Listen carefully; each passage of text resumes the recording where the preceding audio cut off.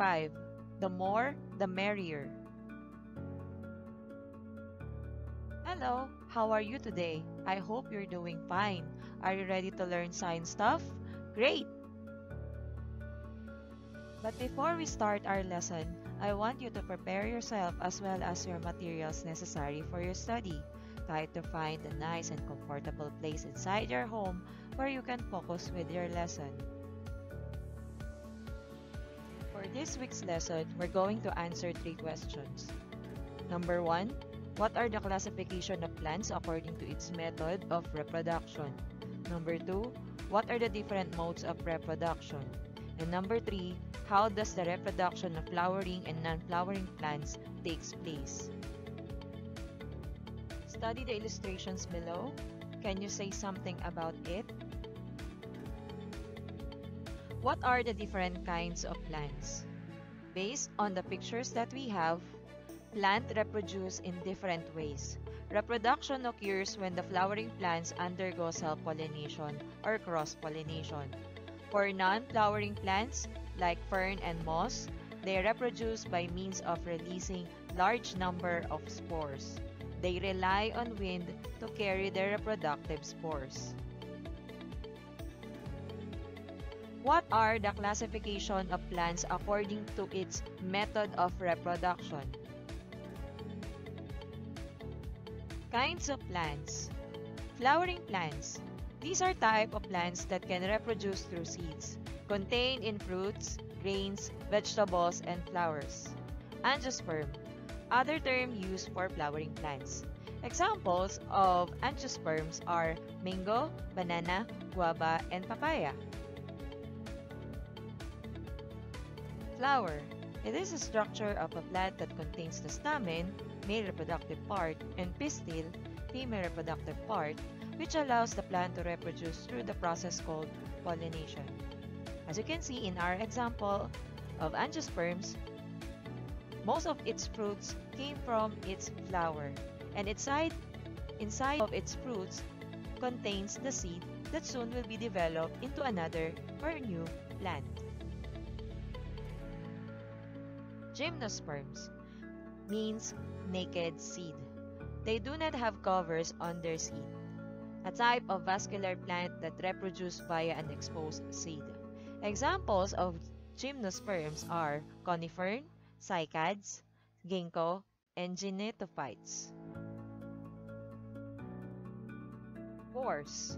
These are tiny living cells which leave the plant on which they originate and fertilize away from the original organism. Examples ferns, mosses, liverworts, horsetails, xylotils, club mosses, and hornworts. What are the different modes of reproduction? Kinds of pollination. For flowering plants, they can undergo with the following processes. Number 1, self-pollination. It happens when the pollen from the anther transfer to the stigma of the same flower. While cross-pollination, it happens when the pollen from the anther of one flower transfer to the stigma of another flower.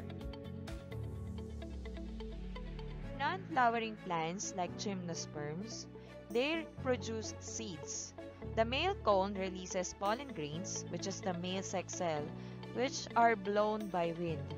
If pollen lands on the female cone, it fertilizes the female egg cell.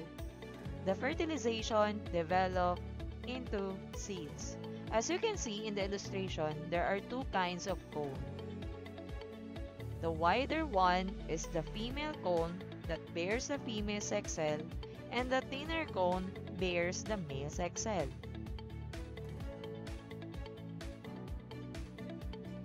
For non-flowering plants, which is a spore-producing plants, they do not reproduce through flowers but they reproduce by means of releasing large number of spores.